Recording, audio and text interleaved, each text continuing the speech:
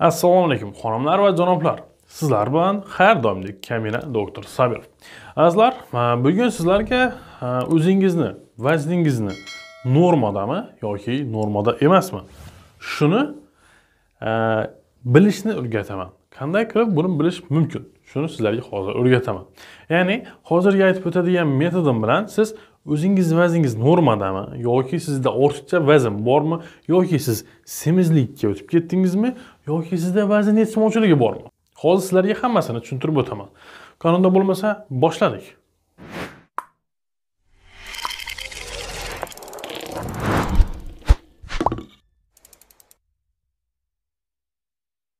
Sizni vazningiz normadami yoki normada emasmi? Buni bilishni oddiy yo'li bor ya'ni bitta formula bilan bilsa bo'ladi.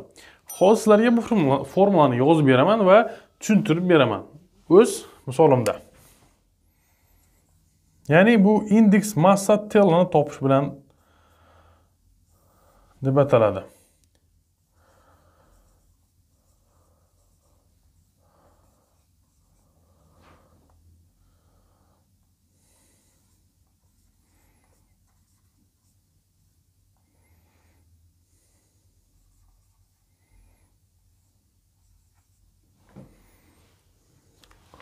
Mana bunda sizni vazningiz bo'yingizni kvadratiga bo'linadi. Kvadratiga. Masalan o'zimdan пример aytib o'taman.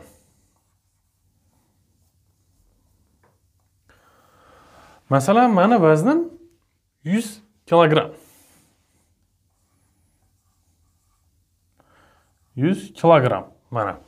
Mani bo'yim esa 187 bir butun sakson yetti.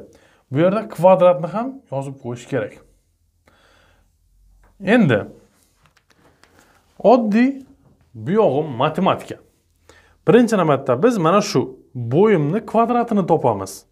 Bir butun sakson yettini ko'paytiramiz bir butun sakson yettiga. Bu chiqadi uch butun qirq to'qqiz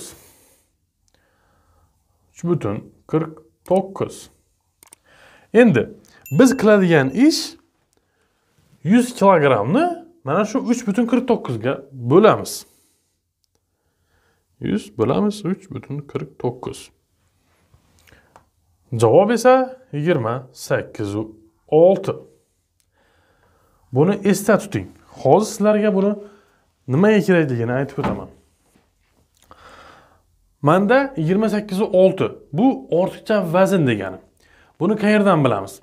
Agar mana shu javob o'n sakkizdan ya'ni o'n sakkiz yarimdan aniqrog'i yigirma beshgacha bo'lsa bu norma hisoblanadi. Bu degani mana shu 18 dan 25 gacha bo'lgan son chiqadigan bo'lsa sizni vazningiz normada hisoblanadi. Agarda 25 dan 30 gacha bo'ladigan bo'lsa bu ortiqcha vazn. 30 dan 35 gacha bo'lsa bu semizlikning birinchi darajasi.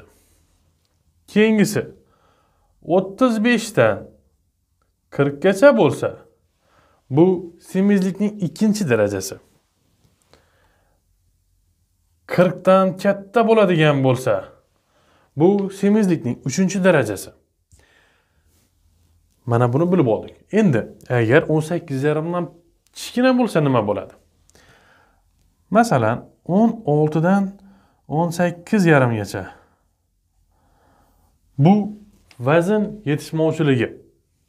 Endi o'n oltidan kichkina bo'ladigan bo'lsa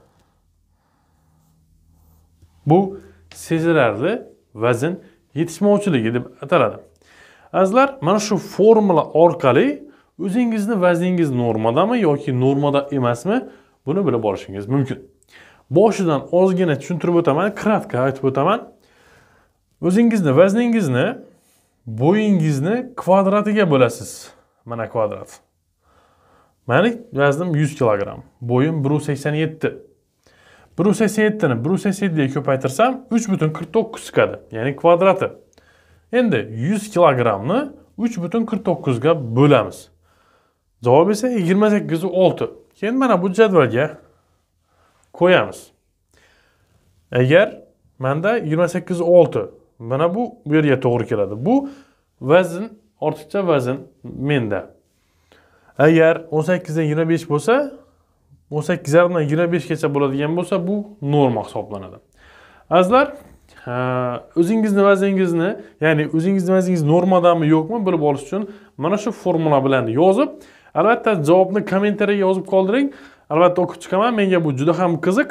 Kanalimga obuna bo'lib ham qo'yish esdan chiqmasin qo'ng'iroqchani ham bosib qo'ying azizlar bu sizga bizni videolarimizni o'tkazib yurmaslikka yordam beradi. Sizlar bilan doktor sabirov bo'ldi. Sog'lig'ingizga e'tiborli bo'ling. Xayr salomat bo'ling.